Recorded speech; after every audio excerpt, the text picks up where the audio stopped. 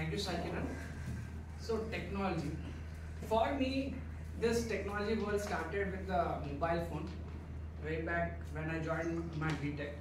That time, I was new to internet and all those stuff.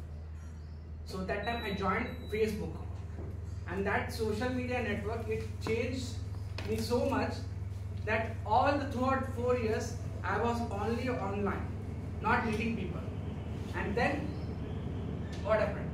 I was so terrible at uh, speaking, communicating that uh, after four years I attend, I was the guy who attended the most number of interviews.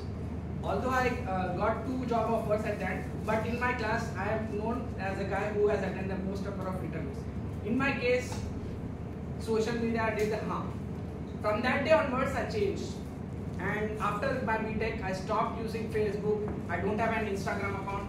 I don't have any social media accounts, and I don't even have YouTube app, YouTube app in my phone. So I have drastically changed myself, but but I have the Google browser because I need some important information. That's why I need to get uh, those good stuff from the internet. That's why I have Google browser, which is a lazy way of getting stuff rather than having all the ready-made apps. That's how I see.